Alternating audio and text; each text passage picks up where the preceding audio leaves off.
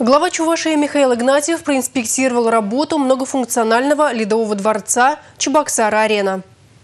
Сегодня Ледовый дворец полностью загружен. Он работает ежедневно с 7 утра до полуночи. Здесь проходят тренировки новочебоксарской команды «Сокол». Фигуристов лед арендуют различные хоккейные клубы. По субботам и воскресеньям проводятся сеансы массового катания для горожан. Глава Чувашии посмотрел проходившую здесь тренировку хоккейной команды «Сокол», побеседовал с хоккеистами. Они поблагодарили Михаила Игнатьева за созданные прекрасные условия.